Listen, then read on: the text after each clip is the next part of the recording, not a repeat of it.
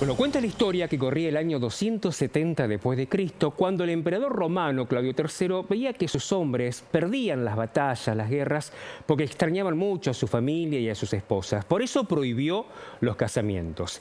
Entonces había un cura católico, San Valentín, que los casaba en secreto. Cuando fue descubierto, Claudio III lo mandó a detener y ordenó su fallecimiento, su muerte.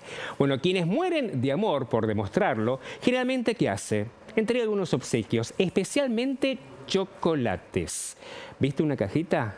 1.270 pesos. Sin dudas, tenés que estar muy enamorado. El chocolate no les gusta En una fecha como la de San Valentín, el chocolate tiene que estar presente bombones infaltables para festejar el amor, rellenos, frutales, frases personalizadas de chocolate y obsequios combinados con bebidas, cristalería o cuero. Solo falta elegir para después regalar. Tenemos muchas eh, opciones, hay desde cosas chiquitas, eh, hay cosas con cristal, o sea, chocolates con corazones, con cristal, con peluches, también se vende bastante bien. Este, y todo se puede armar a gusto de cada uno. Bueno, tenemos bombones de todas las clases, contame, contame cómo están rellenos y tenemos los frutales también.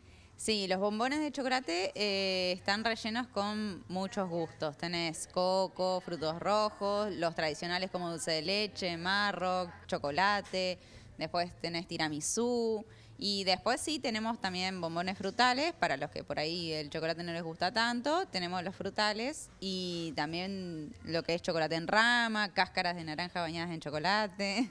Todo mortal. Sí, la verdad que sí. Bueno, ¿ya comenzó la gente a comprar algún presente para regalarle a su enamorado o enamorada?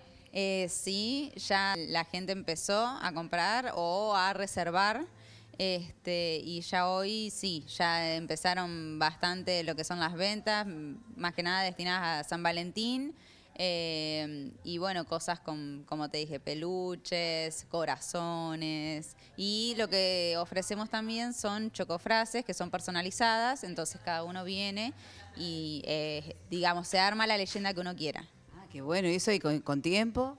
Eh, sí, se, se pide que por lo general sea con tiempo, por ahí por el hecho de las letras, hay que buscarlas, hay que armarlas, pero mientras haya se, se vende. Qué lindo. Bueno, los presentes más chiquititos hasta los más onerosos.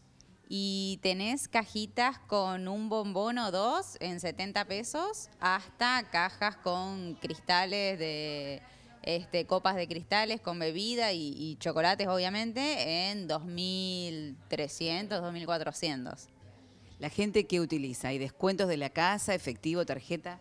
Y sí, tenemos descuentos eh, tanto con efectivo con tarjeta de débito y por lo general la gente opta obviamente por, por los descuentos, por las promociones.